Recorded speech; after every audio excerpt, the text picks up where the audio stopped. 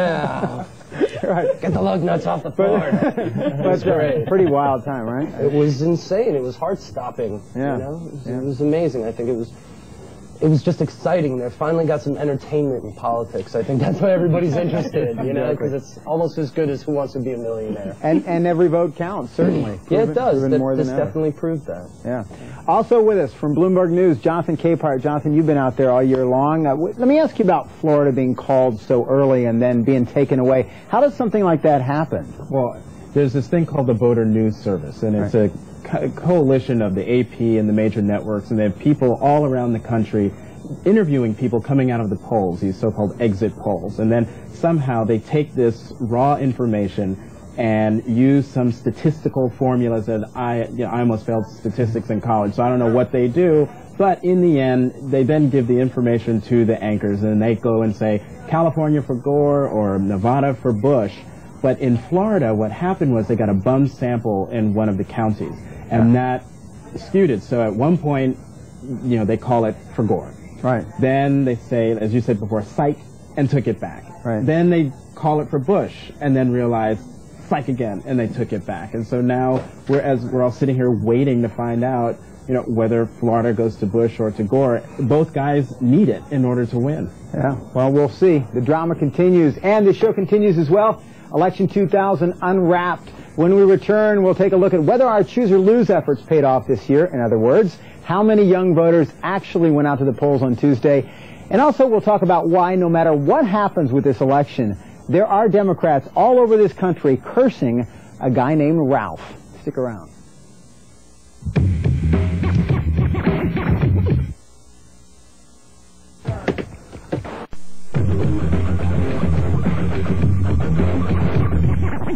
Well, I think that since the two candidates were virtually indistinguishable, it's not all a surprise that the votes they received were virtually, you know, indistinguishable. And we are back with Choose or Lose Election 2000 Unwrapped, just trying to make some sense out of this pretty crazy election week. But first up, you know, Choose or Lose is all about motivating young people to get involved, get out there, register, and vote. And Gideon, you got more on that right now, right? Well, this year, over 17 million 18 to 29 year olds actually took part in this historic vote. So, what was it like to go to the ballot box on election day? Well, we sent Jason and Julia out to check it out. So, take a look.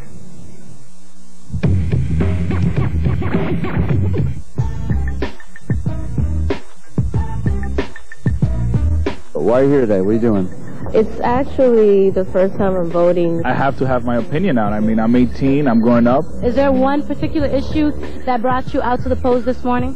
Um, racial profiling. Uh, the Supreme Court, I think, is a big deal. Abortion, gay rights. The military foreign policy. I think abortion and women's um, free choice.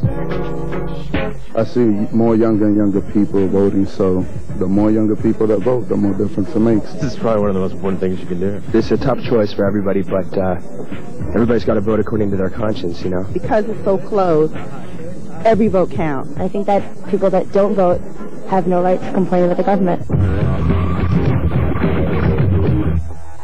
Well, that is how things looked in New York. Meantime, Erica, you saw a pretty impressive turnout in Nashville, right? I did. I was totally amazed. I, we went up to a polling place where there were lines of people. I'm like, oh, they're giving something away free. There's no way, heck, you know, all these kids are lined up and they were standing in line in the hot sun for, you know, some of them two and a half hours all to get an opportunity to vote. It was incredible. I was so proud and like completely vindicated in this whole Yeah. year of us trying to get that message out to so many young people. So it's been great. That's awesome. Meantime, the numbers, uh, reports are that 17.8 million 18 to 29 year olds turned out to the polls on Tuesday. That is up about 2 million from the 15.6 million who voted in 1996. John, what do you think of that? Are you surprised at those numbers? Encouraged? Yeah, it's encouraging. I think it's got a long way to go still. Yeah. Among your friends, do you know people that maybe weren't so into politics that are now at least interested in it? Yeah, I, th- I think more in this election than ones in past. You know, um, you know, because of the Supreme Court appointments and stuff. I think a lot of people were more interested in this because it's going to affect what goes on in this country for a long time after Bush or Gore is gone. Right. Jonathan, getting back to this election, now God knows anything could still happen, but the way things look at the moment, uh, it's very possible that uh, Gore could end up winning the popular vote and Bush taking the electoral vote and the presidency. If that happens, what do you think is going to happen with the Electoral College in the next four years? Will it get- a second look? You think there will be a movement to do away with it? I think it, it'll get a second look, but I think